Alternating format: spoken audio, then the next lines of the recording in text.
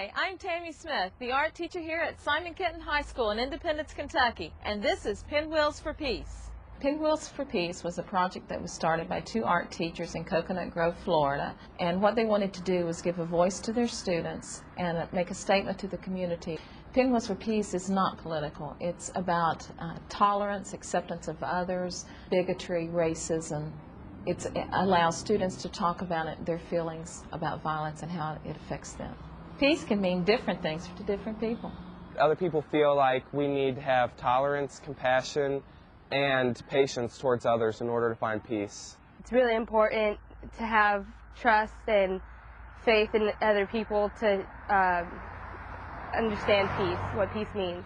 It's an art installation project, but it's also a, a writing project, a current events project. They could write anything they wanted to. It, it dealt with um, their feelings about bullying, it dealt with uh, feelings about being individuals, peace in the home, anything they wanted to write. So drive by Simon Kenton High School and take a look at what the next generation is thinking. I'm Tammy Smith, and I am News 5 Nation.